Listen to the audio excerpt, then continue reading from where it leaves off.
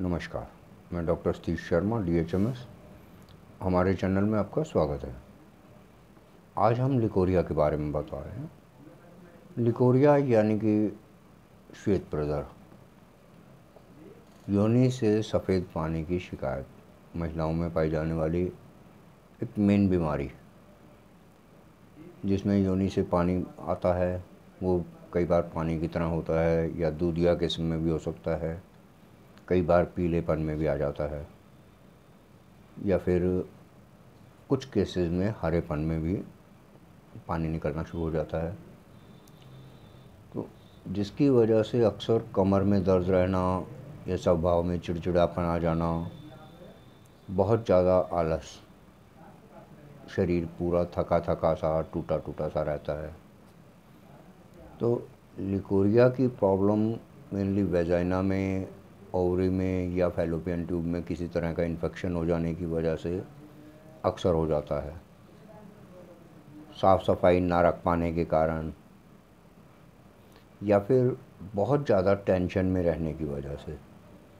क्योंकि आजकल की जो ज़िंदगी है, वो भाग दौड़ भरी व्यस्त ज़िंदगी है, जिसमें ना तो खुद पर समय दे पाते हैं और ना ही अपने खाने पीने का और अपने रहने सहने का कोई ध्यान रख पाती हैं। क्योंकि मेनली लेडीज़ जो हैं, वो घर को भी संभालती हैं और कुछ जॉब्स वगैरह भी करती हैं, जिसकी वजह से बहुत ज़्यादा टेंशन रहने की वजह से लिकोरिया की प्रॉब्लम हो सकती है। साफ़ सफ़ाई ना रख पाने के कारण लिकोरिया की प्रॉब्लम हो सकती है। तो लिकोरिया के जितने भी रोगी हैं, उनके लिए मेनली एक तो समय पर सोना और समय पर जागना। और उठने के बाद मॉर्निंग वॉक करना या फिर योगा वगैरह मेडिटेशन वगैरह करना, जिससे माइंड काफ़ी फ्रेश रहता है और माइंड के फ्रेश रहने से काफ़ी हद तक बीमारी से बचा जा सकता है।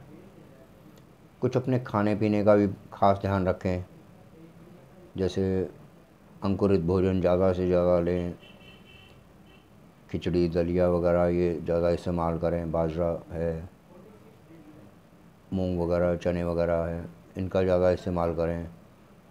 और इसके साथ हरी सब्जियों का सेवन ज़्यादा से ज़्यादा करें, फ्रूट्स वगैरह लें। यानी कि जितना पौष्टिक भोजन लिया जाएगा, उतना ही बेहतर रहता है। अगर इसके बाद भी किसी को परेशानी हो रही है तो मैं एक होम्योपैथिक की बहुत अच्छी दवा बता रहा हूँ। दवा का नाम है डॉक्टर प्रजर प्लस बी सी थर्टीन। ये टैक्टिस इंडिया का गवर्नमेंट अप्रूव फार्मूलेशन है और इमामी ग्रुप के होम्योपैथिक वेंचर द्वारा मैन्युफैक्चरिंग दवा है। दवा कोम्बो पैक में रहती है। इसमें दो तरह का दवा होता है। पीने के लिए ड्रिंकिंग ड्रॉप्स जिसकी 20-20 बूंद दवा की एक कप पानी के अंदर मिलाकर दिन में चार बार पीना होता है। और इसके साथ बायोकेमिक नंबर तेरह की टैबलेट होती है, जो चार चार गोली दिन में तीन बार चूसनी है। दवा को बीमारी के आधार पर कम से कम दो तीन महीना ज़रूर लेना चाहिए।